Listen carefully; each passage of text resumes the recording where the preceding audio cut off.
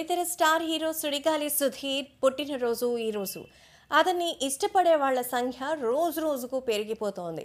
Innocent కామెడీతో తన మీద negative పంచ్లు వచ్చినా తనని ఉమెనైజర్గా ట్రీట్ చేసిన తను మాత్రం ప్రేక్షకులకి నచ్చడానికి వాళ్ళని ఎంటర్టైన్ చేయడానికి నా ఆఖరి శ్వాస వరకు ఉంటాను అంటూ చెబుతూనే ఉన్నారు.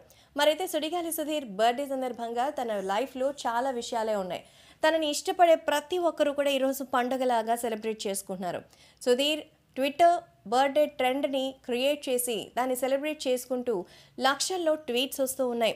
అలాగే చాలా చోట్ల అతని పుట్టినరోజుని సెలబ్రేట్ చేస్తూ కేక్ కట్ చేస్తూ ఉన్నారు. ద మాస్ ఎంటర్టైనర్గా బాబ్ సుడిగాలి సుధీర్ అంటూ ట్వీట్స్ చేస్తూ అలాగే శుభాకాంక్షలు తెలియజేస్తున్నారు.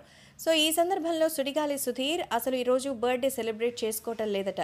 ఎందుకంటే రీసెంట్గా తన అమ్మమ్మ గారు చనిపోయారు అంతేకాదు ప్రస్తుతం కరోనా చేస్తున్నటువంటి ఇబ్బంది వల్ల ఎక్కడికక్కడ చాలామంది ప్రాణాలు కోల్పోతున్నారు. కాబట్టి సెలబ్రేషన్ మూడ్లో అస్సలు లేడు సుధీర్.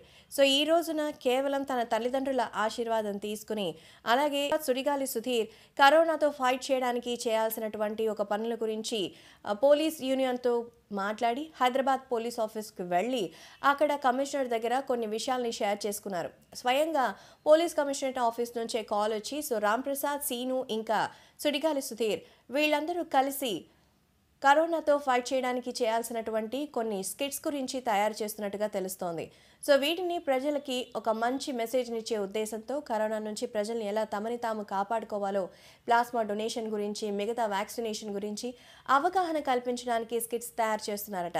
నిజంగా ఒక సెలబ్రిటీ ప్రపంచం మొత్తం తనకి ఎక్కడైతే ఫ్యాన్స్ ఉన్నారో అక్కడంతా సెలబ్రేషన్స్లో బిజీగా ఉంటే తను మాత్రం సెలబ్రేషన్స్కి దూరంగా ఉంటూ ప్రజల్ని చైతన్యపరచడానికి ఇలాంటి కార్యక్రమాలు చేస్తున్నారంటే అందుకే కదా సుధీర్ని మెచ్చుకునేది.